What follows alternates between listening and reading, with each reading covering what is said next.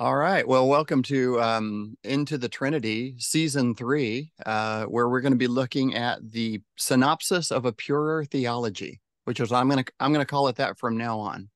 SPT, synopsis of a purer theology.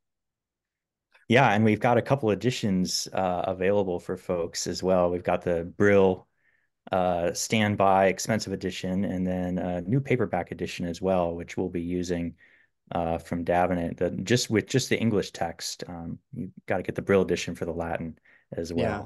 Yeah. So this is great. Uh, the synopsis of a pure theology. It's two volumes. It's uh, it's nicely printed. It's hardcover. It lays open pretty well, so um, it's not too tightly bound. Um, and it's you know it's it's affordable, which is a real game changer. The the synopsis of a pure theology, or what's sometimes nicknamed the Leiden synopsis. Um, uh, has been a reference point, has been very influential in Protestant theology, especially Reformed theology. Um, and it's just been sort of inaccessible. It hasn't been in English until that Brill edition uh, back in the day. And now it's available, you know, affordably. So that's just great. Yeah, and it was a really great text that the Reformed Orthodox used. It's also something that someone like Bavinck was very interested in. Uh, in fact, before Bavinck became a professor, he was pastoring a church, and the one kind of academic thing he did was publish an edition of Leiden Synopsis. So it was important for Bavinck. It's important for us today. And uh, now that we have the translation, we have easy access to uh, really the sum total of um, it just goes through all the loci of theology, starts out right with theology proper, and we're in mm-hmm. Disputation 7 uh, right at the beginning here on the Holy Trinity. Um, yeah, good. So we're just going to be looking at seven, eight, and nine, um, mm. which is on the Holy Trinity, on the Father and the Son, and then on the Spirit. So we'll just talk through those in as long as it takes. Um, the Leiden synopsis is nicely laid out in each of these disputations. So, like what you might call chapter seven is disputation seven, and it's made up of 50 numbered paragraphs. So you can actually, you know, make your way around in it, not by page number, but by we are in paragraph 47 of disputation seven, which is handy. So just a brief Indeed. word on. Oh, go ahead, Ryan. Oh, go for it. Yeah, I was just going to say a brief word on the the history of the document. It's um purer. The comparative is kind of an interesting uh, word to put in your title. You're obviously um, referring back to something that wasn't quite so pure. Um, in this case, it comes out about 1625, and um, so I don't know. Big picture, you could think if you know King James Bible 1611 you know this is around that time but it's not over in the english speaking world it's in um, leiden. Um, and that is the strong reformed protestant theological faculty that had just had all the controversy with having hired what would you say about leiden theology in 1600 they had hired like arminius and gomarus as and reformed and te- as teachers of reformed theology and, yes. and then, of course, the controversy over the remonstrant or Arminian theology breaks out, and everything has to be clarified at the Synod of Dort. Um, so, one thing you could say is it's it's Reformed theology after the clarification of the, the sort of Synod of Dort rejection of Arminianism. Is that? Yeah, I, I think so. And it's there's a lot of sparks flying during that time period. Of course, at Leiden, I mean, there's very real characters involved uh, that are professors. One thing I really love about the disputation genre, of which the Leiden is probably the most eminent example, is that these are essentially what we might call today classroom notes that are they vary in their quality. Uh, mm-hmm. I mean, I mean, Leiden is a is a heavily edited, but if you look across the disputation genre, they, they're going to vary in their in their quality. But they're things that the professor would would write up and the student would be essentially quizzed over. So they're really nice, short, pithy thesis statements that make a claim, require the student to understand what the claim is, and then argue in favor of that claim. Mm-hmm. And the Leiden uh, synopsis, particularly, was a collection of disputations that were written for classroom use, but also refined over various cycles of holding these disputations year after year. They were used in the classroom. So after a number of disputation cycles, they're bundled together and published. Mm. And that is the product that we have before us today. Nice. Yeah. So there's an intense period of development, 1620 to 1625, as they're sort of refined. There are four authors, mostly names you haven't heard of unless you're really into this kind of stuff. So it's a it's a group sort of a document, though Hmm. one of these four authors will be named at the head of each disputation as the main author, and another one of the four will be named as a respondent. But it speaks with a unified voice, and that's kind of, I want to say, the whole point Hmm. doctrinally and even politically of the Leiden synopsis is the preface, uh, which is dedicated to the the lords of the of the kingdom. Say like we are, we speak single mindedly with one voice. This is the theology taught at this fine university. Right. Um, as opposed to, you can imagine if you've got like Polyander and uh, Junius and or, or uh, not Junius, but um, Arminius and Gomarus teaching on the same faculty. There must have been something like, uh, I'm going to go study theology at Leiden, and everything's kind of three views, you know, 3 Mhm. views of this, three views of that. Especially when you get into the soteriology, there are a number of positions represented by this diverse faculty. Mhm. And I, I think this document is produced with a a wonderful sort of coherence Ironic. and yeah, yeah, unity. And it is ironic because they've already kicked out the people they disagree with, and and they're consolidating. One way of um, being ironic, I suppose. That's, that's right. That's right. So there was a period of confusion, and this is written in a period of self-confident consolidation of this is the proper Protestant view.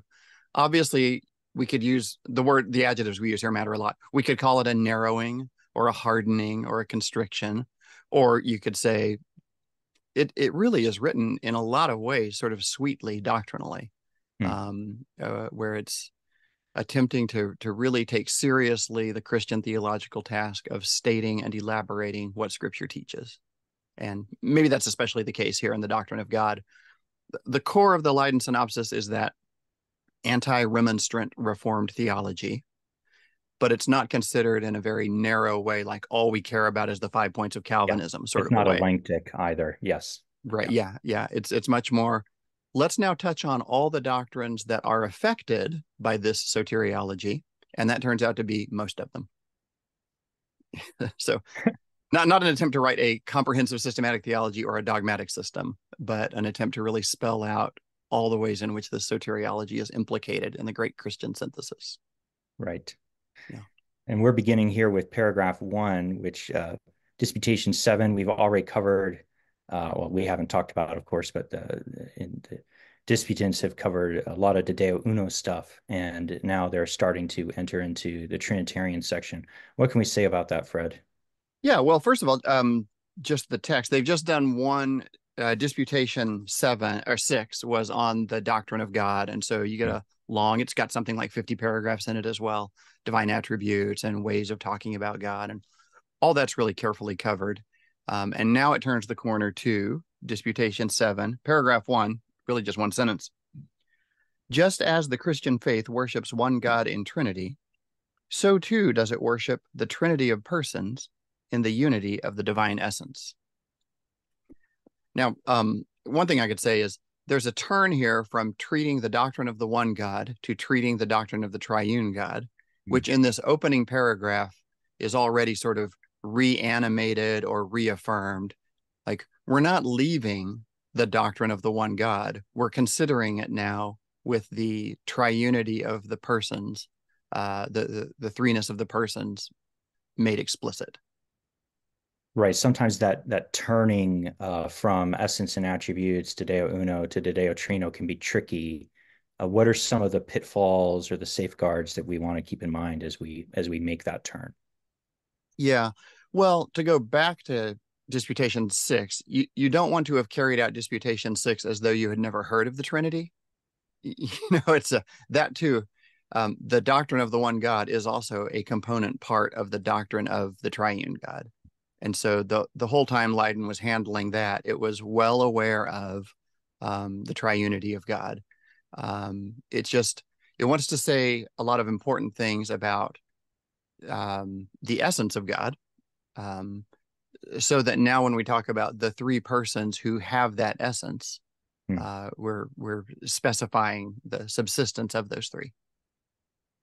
So not so much an isolated unity or an abstract essence, something like that is going on behind the scenes. It's not the intention of starting with uh, the things that are common, the Mm. things that are identical to all three divine persons.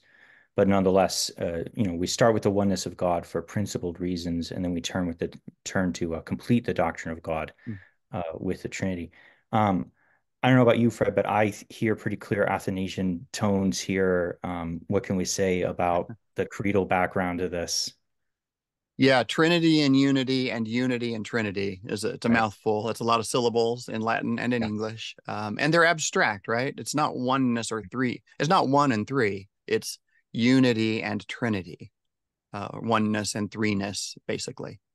Um, and so that that's already kicking things up to a, a certain level of abstraction. Hmm. Um, but I think for the goal of emphasizing that you're not choosing between unity and Trinity it's mm-hmm. always those two things um, operating together at the same time. And then stated reversibly, there's some poetic power to that, I guess. Unity mm-hmm. and Trinity, Trinity and Unity. Yeah, keep keep going with the line. Uh, I, oh, you know, some of the value of the Athanasian Creed is just giving us kind of the basic fundamental grammar of Christian confession mm-hmm. and telling us what to say, when to say it. Um, you know, say God is this and God is that, and and and go down the line. There are also alternative models, though. I know you've talked about Fred for talking about the Holy Trinity. They're also creedal and valuable. Um, I know there's um, advantages to the Athanasian way to teach the basic grammar. Are there are there other emphases that we'd want to bring in that are important uh, to recall? Yeah, I I do think um, so. You could start just with the relations themselves that mm-hmm. are why we talk about abstract things like Trinity and unity.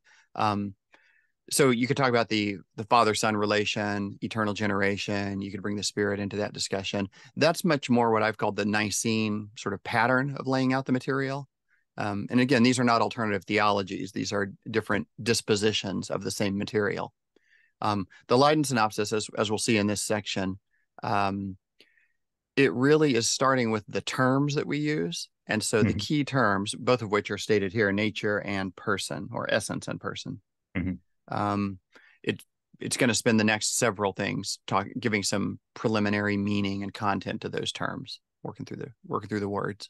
Yeah, right.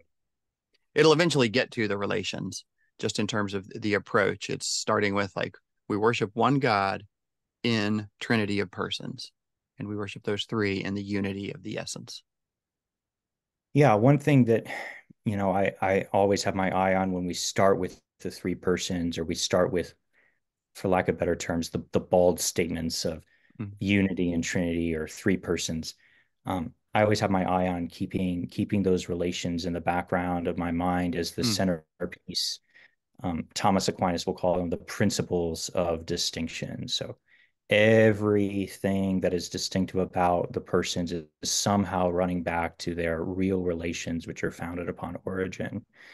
Sometimes when you start off with the three persons right off the bat, you're you're kind of kind of trying to stuff the jack of the box back in mm. uh, in, in, in in in avoiding thinking of them in terms of absolute identities one two three this type of issue so there there are real potholes that need to be avoided um, and uh, strengths to starting this way but just keeping the relations in view is something mm. i'm always concerned i think it's yeah it's fair to say this is a species of scholasticism, right? In the right. in the sense that you have an inherited doctrine and you get down to the fundamental terms in the doctrine and you define how you're using those terms so that words get used a lot of different ways. Um, but when you specify how in this community of discourse, in this tradition of interpretation, how you intend this word to be taken, well, now you've got a term. So mm-hmm. we say, well, let's come to terms about this.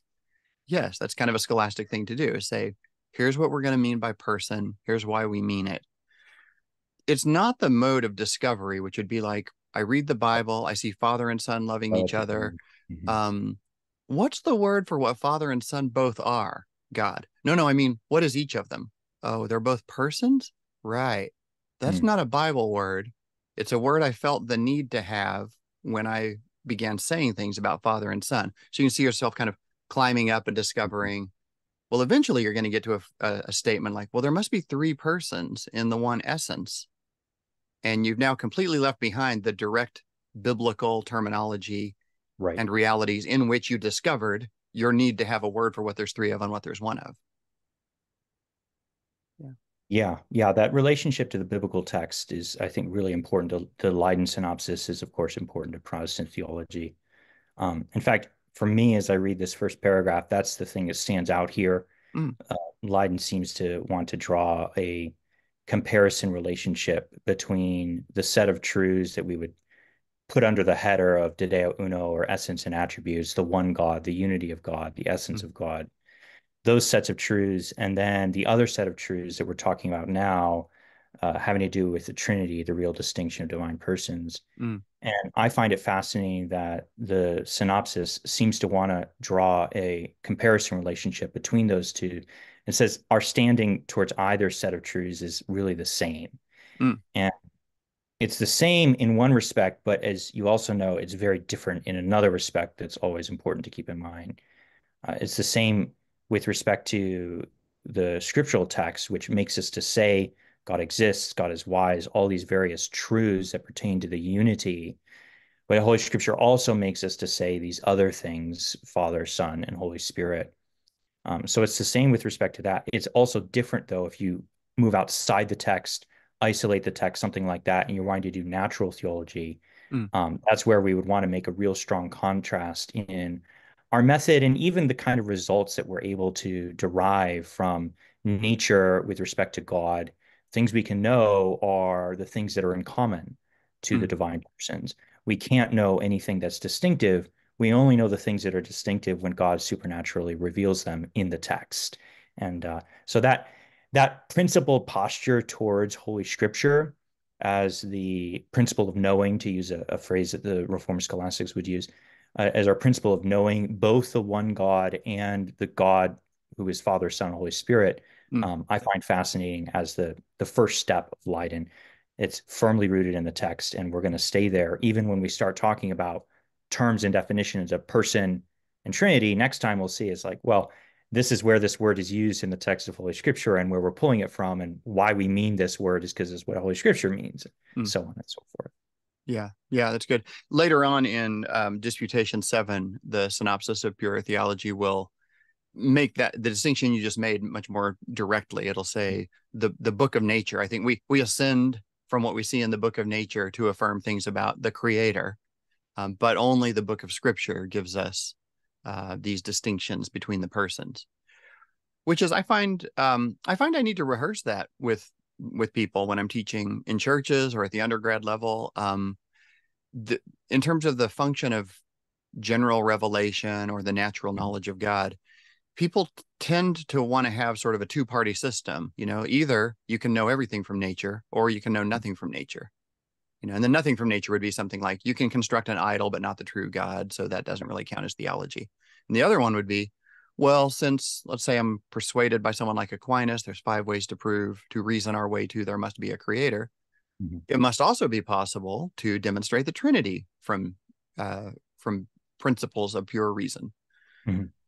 And in fact, the truth is not a two-party system. The, the truth right. is you can you can absolutely uh, reasoning correctly demonstrate that there must be a God, but you cannot reasoning uh, just from principles of nature demonstrate yep. the triunity of that God.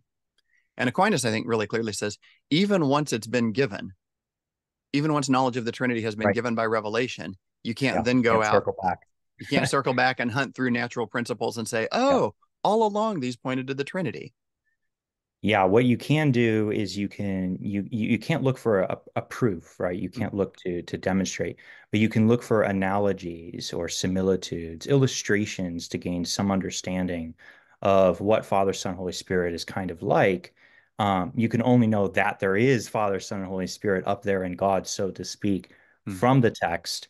You can know from nature under the authority of the text like here's a bit of where you might want to look to gain some understanding via usage of analogy, similitude, appropriation, these types of things that we we do in Trinitarian theology. Yeah, but you'd never be in a position of saying like, look, things are moving, therefore right. there must be movement, right. mover, and moved, therefore Trinity, or here's the structure of love, or here's the nature of mind. At no point will you demonstrate you have a a proof where your dialogue partner, if reasoning rightly, will necessarily yeah. draw the conclusion, therefore God is triune. Right. And, you know, sometimes people kind of get a little bit disappointed uh, when they come to that conclusion that, oh, you can't know God is Father, Son, Holy Spirit from nature.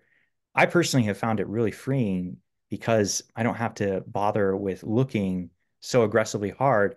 Just rely on Holy Scripture. And that's even one of the fun, like you mentioned Thomas Aquinas, one of the functions of Holy Scripture um, towards all of our truths about God, whether we're talking about essence and attributes or the Trinity.